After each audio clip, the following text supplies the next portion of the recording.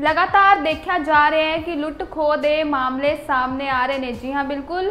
ਇੱਕ ਵਾਰ ਫੇਰ ਐਦਾਂ ਹੀ ਇੱਕ ਲੁੱਟ ਖੋਹ ਦਾ ਮਾਮਲਾ ਸਾਹਮਣੇ ਆਇਆ ਹੈ ਗੁਰਾਇਆ ਦੇ ਇਲਾਕੇ ਤੋਂ। ਤਸਵੀਰਾਂ 'ਚ ਇੱਕ ਵਾਰ ਤੁਹਾਨੂੰ ਦਿਖਾ ਦਿੰਦੇ ਹਾਂ ਲਗਾਤਾਰ ਕਿ ਕਿਸ ਤਰ੍ਹਾਂ ਗੁਰਾਇਆ ਦੇ ਇਸ ਇਲਾਕੇ ਦੇ ਵਿੱਚੋਂ ਲੁੱਟ ਖੋਹ ਦਾ ਮਾਮਲਾ ਸਾਹਮਣੇ ਆਂਦਾ ਹੈ। ਚੋਰ ਕੰਧ ਟੱਪ ਕੇ ਅੰਦਰ ਜਾਂਦੇ ਨੇ ਤੇ ਇੱਕ ਐਕਟਿਵਾ ਤੇ ਹੋਰ ਜਿਹੜਾ ਹੈ ਸਮਾਨ, ਕੀਮਤੀ ਸਮਾਨ ਚੋਰੀ ਕਰ ਲੈ ਜਾਂਦੇ ਨੇ।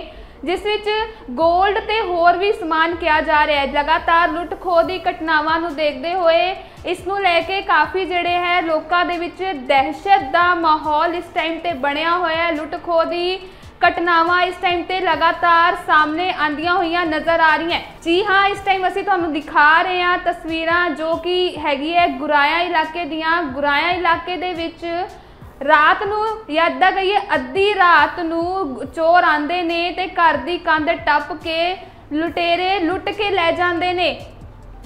ਜਿਸ ਟਾਈਮ ਚੋਰੀ ਹੁੰਦੀ ਹੈ, ਕਿਹਾ ਜਾ ਰਿਹਾ ਹੈ ਕਿ ਘਰ ਦੇ ਵਿੱਚ ਕੋਈ ਵੀ ਨਹੀਂ ਸੀ ਤੇ ਪਿਛਲੇ ਕਿਨ ਕਈ ਸਾਲਾਂ ਤੋਂ ਜਿਹੜਾ ਹੈ, ਘਰ ਪਰਿਵਾਰ ਬਾਹਰ ਰਹਿੰਦਾ ਹੈ ਤੇ ਉਸ ਤੋਂ ਬਾਅਦ ਇੱਥੇ ਚੋਰੀ ਹੁੰਦੀ ਹੈ। ਜਦੋਂ ਪੜੋਸੀ ਆਉਂਦੇ ਨੇ, ਪੜੋਸੀ ਵੱਲੋਂ ਦੇਖਿਆ ਜਾਂਦਾ ਹੈ ਕਿ ਦਰਗੇਟ ਖੁੱਲਾ ਹੈ। ਇਸ ਤੋਂ ਬਾਅਦ ਇੱਥੇ ਦੇਖਿਆ ਜਾਂਦਾ ਕਿ ਹੋਰ ਵੀ ਸਮਾਨ ਵਿਖਰਿਆ ਹੋਇਆ ਤੇ ਇਸ ਦੇ ਨਾਲ ਹੀ ਜਿਹੜੀ ਹੈ, ਸਾਰੀ ਇਨਫੋਰਮੇਸ਼ਨ ਘਰ ਦੇ ਮਾਲਕ ਨੂੰ ਦਿੱਤੀ ਜਾਂਦੀ ਹੈ ਤੇ ਉਸ ਤੋਂ ਬਾਅਦ ਇਹ ਪਤਾ ਲੱਗਦਾ ਹੈ ਕਿ ਇੱਥੇ ਇੱਕ ਐਕਟਿਵਾ ਤੇ ਹੋਰ ਜਿਹੜਾ ਕੀਮਤੀ ਸਮਾਨ, ਜਿਸ ਦੇ ਵਿੱਚ 골ਡ ਵੀ ਸ਼ਾਮਿਲ ਹੈ, ਚੋਰੀ ਹੋ ਚੁੱਕਿਆ ਹੈ। ਲਗਾਤਾਰ ਇਸ ਦੀ ਜਿਹੜੀ ਹੈ ਲੁੱਟ ਖੋਹ ਦੀ ਘਟਨਾਵਾਂ ਲਗਾਤਾਰ ਇਲਾਕੇ ਦੇ ਵਿੱਚੋਂ, ਸ਼ਹਿਰ ਦੇ ਵਿੱਚੋਂ ਸਾਹਮਣੇ ਆ ਰਹੀਆਂ ਨੇ। ਇਹ ਜਿਹੜੀਆਂ ਤਸਵੀਰਾਂ ਜਿਹੜੀ ਤੁਹਾਨੂੰ ਦਿਖਾ ਰਹੇ ਹਾਂ, ਉਹ ਹੈਗੀਆਂ ਨੇ ਗੁਰਾਇਆ ਇਲਾਕੇ ਦੀਆਂ। ਇਸ ਚੋਰੀ ਤੋਂ ਬਾਅਦ ਇਲਾਕੇ ਦੇ ਵਿੱਚ ਜਿਹੜਾ ਹੈ ਕਾਫੀ ਦਹਿਸ਼ਤ ਦਾ ਮਾਹੌਲ ਬਣਿਆ ਹੋਇਆ ਹੈ।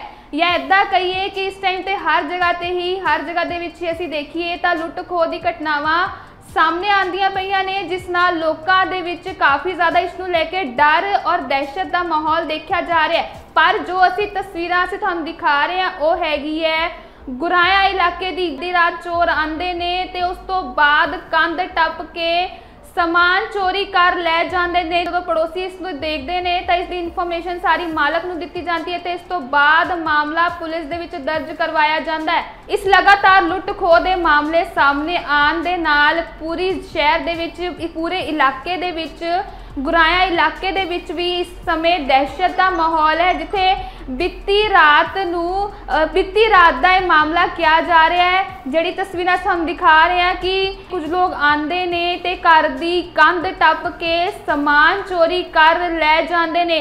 ਇਹ ਤਸਵੀਰਾਂ ਤੁਹਾਨੂੰ ਸਾਫ਼ ਬਿਆਨ ਕਰ ਰਹੀ ਹੈ ਕਿ ਇਸ ਟਾਈਮ ਤੇ ਦਹਿਸ਼ਤ ਦਾ ਮਾਹੌਲ ਹੈ। ਇਹ ਕੇਵਲ ਗੁਰਾਇਆਂ ਦੀ ਹੀ ਗੱਲ ਨਹੀਂ ਲਗਾਤਾਰ ਦੇਖਿਆ ਜਾ ਰਿਹਾ ਹੈ ਕਿ ਸ਼ਹਿਰ ਦੇ ਕੋਨੇ-ਕੋਨੇ ਦੇ ਵਿੱਚ ਇਸ ਟਾਈਮ ਤੇ ਇਸ ਤਰ੍ਹਾਂ ਦੀ ਲੁੱਟ ਖੋਹ ਦੀ ਘਟਨਾਵਾਂ ਸਾਹਮਣੇ ਆ ਰਹੀਆਂ ਨੇ ਜਿਸ ਨਾਲ ਲੋਕਾਂ ਦੇ ਵਿੱਚ ਇਸ ਨੂੰ ਲੈ ਕੇ ਕਾਫੀ ਡਰ ਬਣਿਆ ਹੋਇਆ ਹੈ। ਥਾਣੇ ਗੁਰਾਇਆ ਇਤਲਾਹ ਮਿਲੀ ਸੀ ਭਗਵਾਨ ਸਿੰਘ ਵੱਲੋਂ ਕਿ ਸਾਡੇ ਘਰ ਵਿੱਚ ਚੋਰੀ ਹੋ ਗਈ ਆ। ਅਸੀਂ ਇਹਦੀ ਛਾਣਬੀਣ ਕਰ ਰਹੇ ਹਾਂ। ਕਿੰਨਾ ਕੁ ਨੁਕਸਾਨ ਹੋਇਆ ਦੱਸਦੇ ਹੋ ਨੁਕਸਾਨ ਲਗਭਗ ਇੱਕ ਸਕੂਟਰੀ ਦੱਸ ਰਿਹਾ ਤੇ ਕੁਝ ਗੋਲਡ ਦੱਸ ਰਿਹਾ ਜੀ ਤੇ ਬਾਕੀ ਤਬਦੀਲ ਹੈ